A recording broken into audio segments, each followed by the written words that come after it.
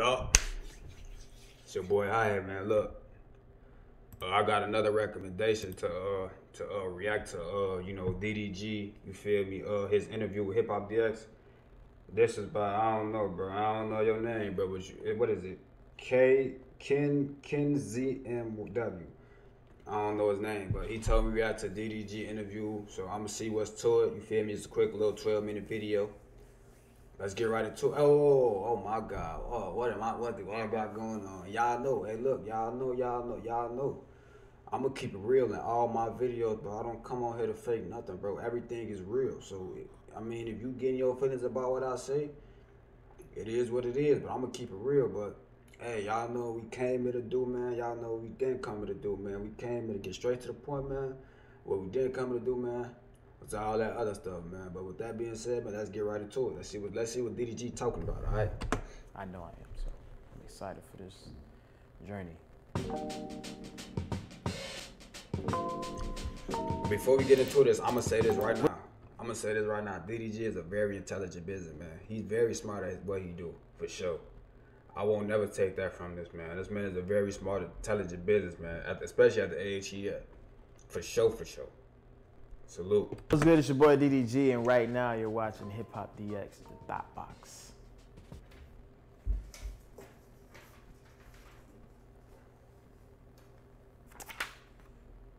Is this what I think it is?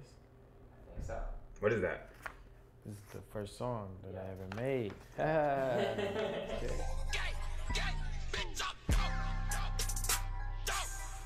It was a long time ago. That was I DDG went to the song? studio for like forty dollars. I recorded in somebody's living room, and um, yeah, did the music video. I edited the music video myself. I felt like I was really lit. I felt like I was on top of the world at the time. I had like thirty-five thousand YouTube subscribers. I said it in the song and everything, and I felt like I was lit. So I showed everybody.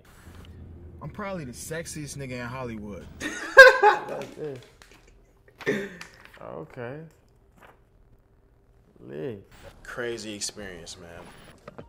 They got young My DDG. cousin already knew that. I'm gonna tell y'all something. Uh, what I was gonna say. Uh, I've been watching DDG before he even blew up. I've been watching DDG since he was at the bottom. I watch.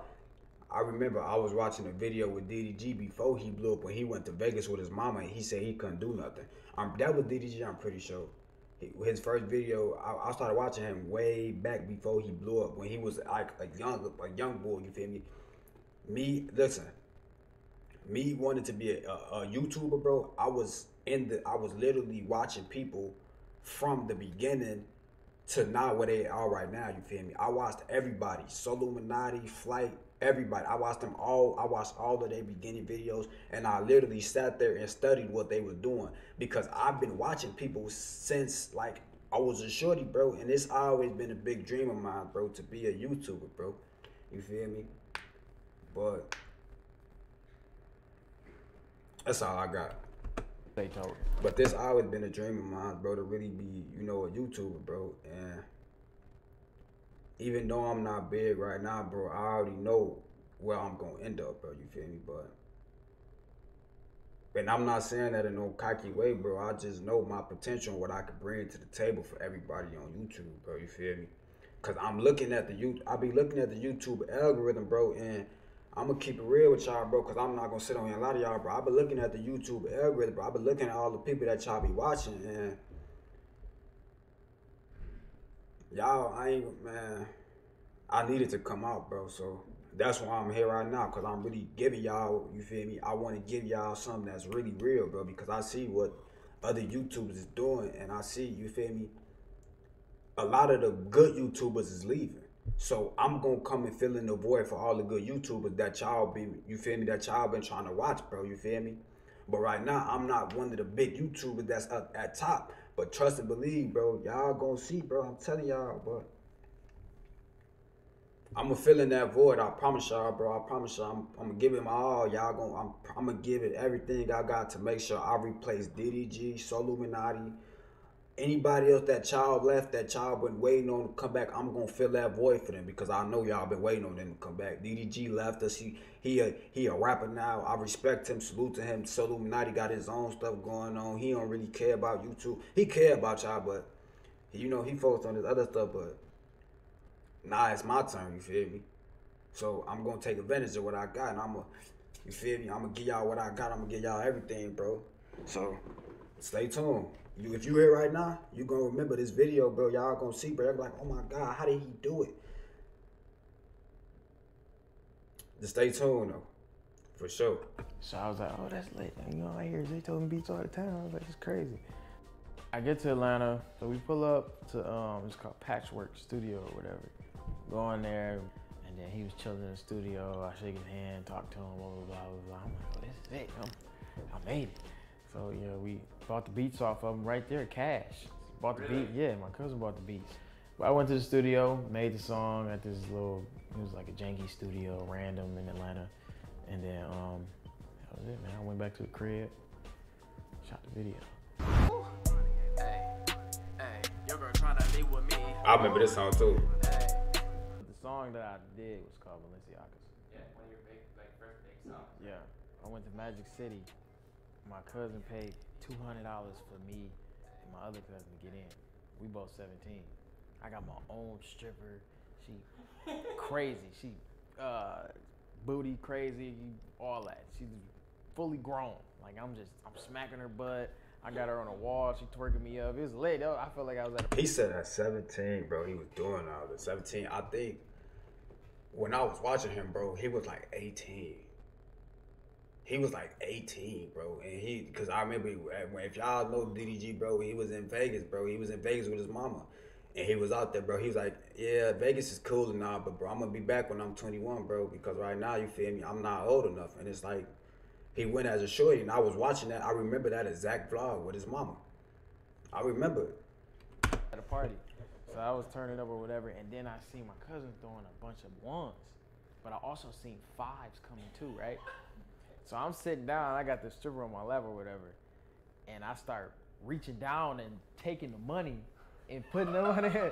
I start putting the money in my pocket. And then I go to the bathroom. This is in Magic City. I go to the bathroom, it's like two in the morning. I go to the bathroom and then I count the money up in the stall. And then I come back out and go steal some more money and then I go count it up. At the end of the night I had like 150, something like that. Then I went to You I went- with that? I left with that, right? So look, so I went I went there, right? My my other cousin, he got some money too. I went to Lenox Mall and then I bought I had six hundred dollars to my name and I bought some Balenciagas.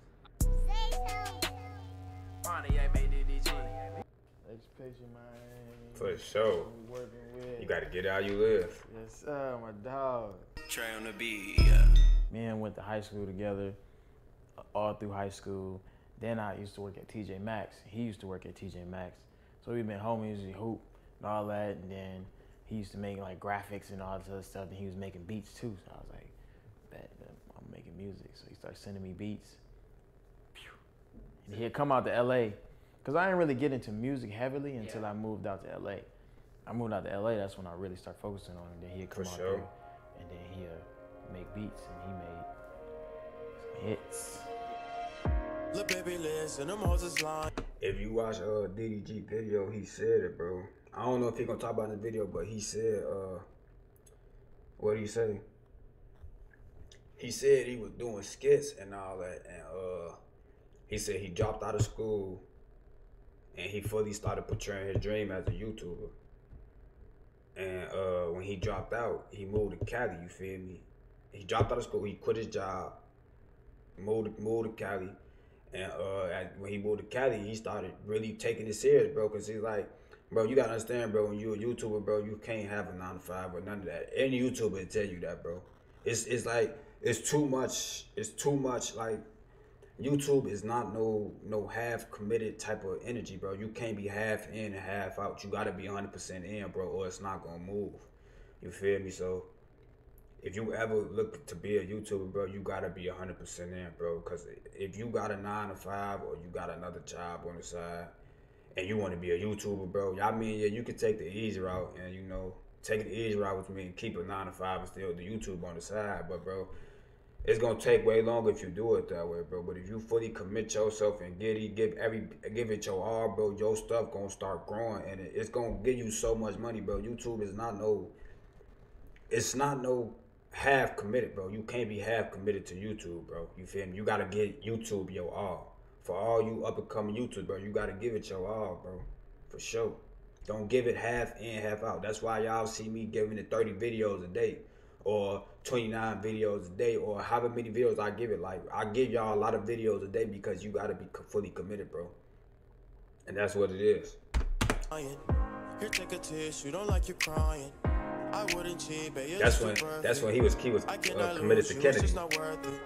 Oh shit. Okay. Evening, gentlemen. The skits. Can I get your order speeded up for you? I wanted to be an actor, but I didn't like the experience. This is really that that situation is really the reason why I gave up on acting. Really? Yeah, because it was like I went there and I was sitting there. I was, I swear to God, I was sitting there literally all night, probably like five hours, just to say three lines. So just one. Uh, what the hell? I'll do the same. I will get that order going right up for you, sir. Okay? All right. I was like, nah, I'm cool off acting. If this is how it is, that was just our first experience though. But I'm pretty sure if you the star of the show, you ain't got to deal with that. Oh, crazy! Dug deep, lit. This is your first YouTube channel ever? My very first one ever. Nah, I ain't gonna lie. I ain't know about his gaming channel. I ain't know about that. But What's up, everybody? It's Sneak Mode and it's beer. Man, I used to be like very, very heavily into Call of Duty. Like I'm talking about Prestige 20. coming up, uh, I was very into Call of Duty too. I wasn't, bro. I used to play. I, I ain't gonna lie to Shorty, bro. I'm gonna keep real, y'all. Shorty, I wanted to be in FaZe, bro. I swear to God, that was one of my biggest dreams. I used to be one of the people on Call of Duty that was quick scoping, 360. I was doing trick shot. I was doing, I was doing everything. But it's like, bro, I'm gonna be real. I was never as skilled as nobody else that I was playing with. Like people was hitting trick shots every day. I probably hit a trick shot every now and then, bro. Like I wasn't that good at trick shotting, bro.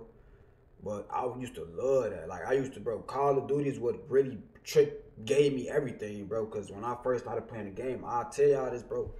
When I first started playing the game, you feel me? I first started playing. I was at my cousin's house and he had Call of Duty Black Ops. It was Black Ops One, and he had all the zombie maps, bro.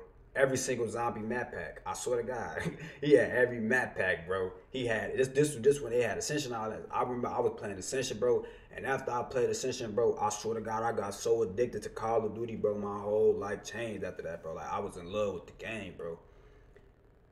And then 2K and all that came up. We gonna speak on that later. I'm talking about I had clan, the yellow tag. I had a clan. I too. I was in I was in uh cuff. I was in cuff. Then my other gaming tag was Terizif. Like I was a real crazy trick shotter, bro. Like I'm telling you, I used to do that for real, bro. But then I stopped doing that because I thought I fell in love with 2K. I fell in love with 2K, 2K15, even though I was playing 2K before the 2K. But when I when they gave, came out with my park in 2K15, bro, my whole life changed, bro. I swear to God, I fell in love with that game, bro. I fell in love, bro. He's up from New York that I never met in my life. I need you to pull up. We got Team Defender right now. You know what I mean? Like I was used like that too. A geek at Call of Duty. For- so for I was sure. like, man, I, I'm watching all these people doing trick shots and all this other stuff. That's what I I just told y'all. I was literally a trick shotter, a quick scoper. I was doing all that, but I wasn't in no big clan. We was some small, you feel me? But I was in a clan for sure. I was heavy on it. I was really quick scoping. I was really a trick shotter, all of that, bro. I, I- bro.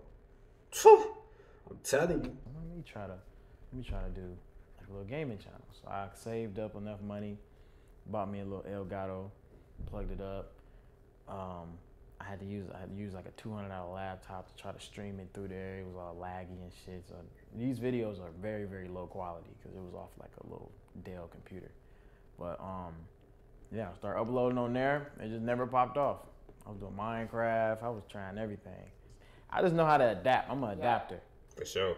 If it doesn't work, I know when to get out of it before it gets bad. Lit. Oh, snaps. Lil Yachty diss me. Fuck yeah.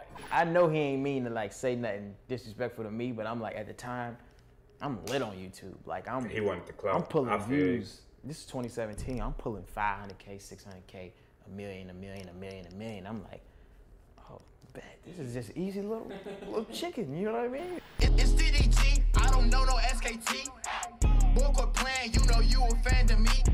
It ain't had nothing to do with like no real beef or nothing. Like you I'm a fan of Lil Yachty, so it was cool.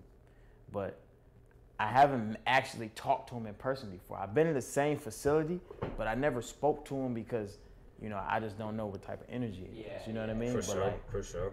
I ain't got no problem with him at all. I think it was lit. Song it was fire. a moment. It was a moment. Yeah, it was a moment. It was a great moment. You don't know me while you boosting. You should stop. You hella ugly and your hair built like a mop. I didn't mean any any any, any problems. You know what I'm saying? I don't. I didn't. I don't want. I don't get on. Hey, no cap. For sure. Hey, I ain't gonna lie. This song so raw. I no no no D Ride stuff. This song, boy, this song cold. Like DDG did it with this one. I ain't gonna lie. With Blueface, the one with Blueface though. They did it with this song. It's like how you get that lit. Same old me, but they think I switched. Blueface, say what up. That's my homie. We be linking off camera besides music. So I was already cool with him and shit. So it was like, you know, it was organic. He just hit me up, wanted to hop on it. But he was super passionate about the song before he even got on it. He was like, bro, pull up, pull up. I pulled up to the studio. I'm in the studio, wanted me to go in there and do the verse. And then ask for like, fuck with that, blah, blah, blah, blah. That song was raw, bro. That song was raw, ideas, he sure. go back, all this other shit. So it's like, but he went crazy.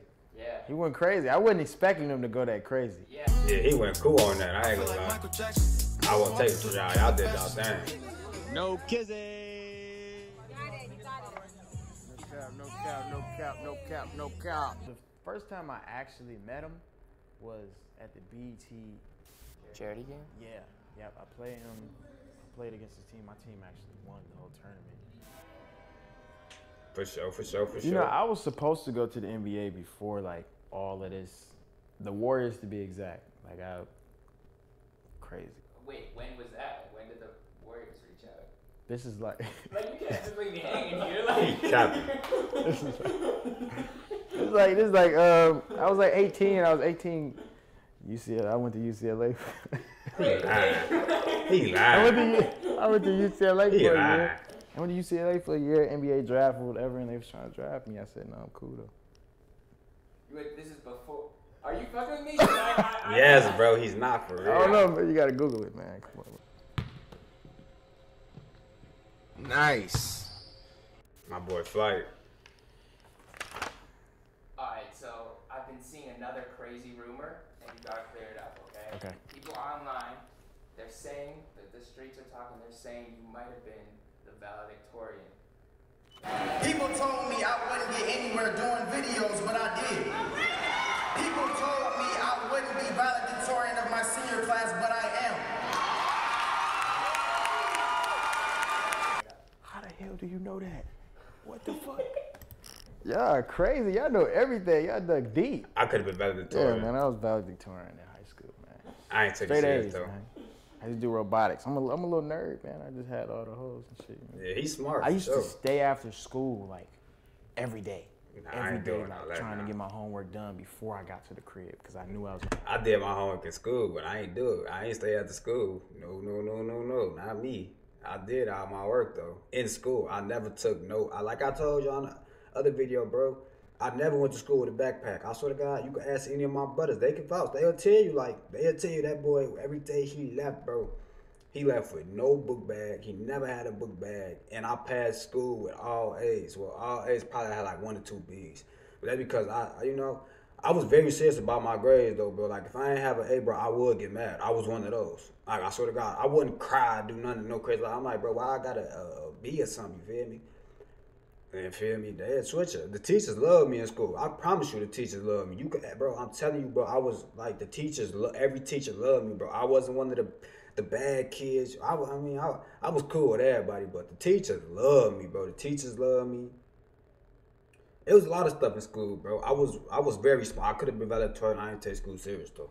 gonna be busy or staying after and picking up the slack on somebody else that they didn't do on the project that we had to do. You know what I mean? Like I used to it was like a game to me. Like school was a game to me. I'm very, very competitive. And there was a dude that everybody thought was smarter than me.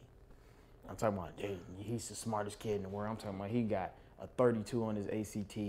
I got like a 20. He got like a um, he got accepted into um, Yale or I'm gonna be real about this too. I ain't take the ACT serious or the SAT, bro.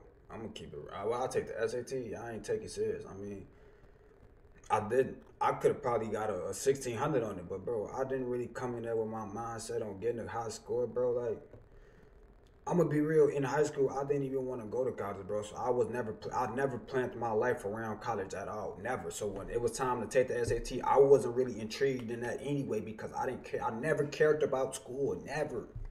I never cared, bro. Like. Cause I'm telling you, bro, if I would have take school serious, bro, I promise you, I would have been valedictorian with flying colors. But I didn't take school serious, bro. Some some of my friends, they told me like, bro, he cheating. They they told me I was cheating because I, I didn't take none of the class. I was supposed to be in in, in, in, in honors and uh in honors and uh what was it? I was supposed to be in like honors and and uh what is what the other class AP, but I ain't him. All my friends was like, bro, he cheating, bro. Nitre so I don't care if y'all know my name, bro. They like, he's so smart, but he just don't take school serious. But like, he just be chilling. Like, I'm telling you, they used to say that to me, bro, for real, for real. Like, I just didn't take it serious, bro. you know crazy shit, right? Yeah, yeah. Harvard. He got accepted to Harvard and all this other stuff. I'm like, okay, bet. So I'm gonna at least get this valedictorian. So he messed up on the final, and I didn't. Wow. So It was like it was like neck and neck. He was I was almost salutatorian, but I was valedictorian. did he know that? Did he know too? Like, did you guys have like an unspoken beef in the hallways that you guys? It was low key a beef on my end. He ain't know though. he was he was just minding his business. For sure, Yeah, for I had beef with him for sure. That's, that's I ain't compete with nobody. I ain't, I ain't really, I ain't Yeah, really taking let serious. That's not what my passion was at, bro. Nerded out a little bit. There's three types of people in this world. Those who want it to happen, those who watch it happen, and those who make it happen. I think in the next few years, I'm gonna be one of the biggest musical artists out. He, he might be. And then maybe I'm gonna get into acting. I think that I want to be in a big movie, like Dwayne Johnson lead role. I want to be in one of those next few years. But I feel like even in this next year or so, these next two years, I think I'm gonna really take off musically. I know I am. So I'm excited for this For sure. journey. Yeah, I'm excited to see it. I'm excited for the next uh, the next steps, and um, you know, appreciate your time and energy today. Hey, that's the end of the video though, man. Hey, stay tuned though, bro. I love y'all. Be easy, man. Keep y'all head. Y'all got any more videos y'all wanna recommend me? Comment them down below, bro. Any video, I'm gonna get to them. You feel me? So I get to them. I love y'all, man. It's your boy, Hyde, man. Keep y'all head up, man. Like I'm subscribed, man. I'm out.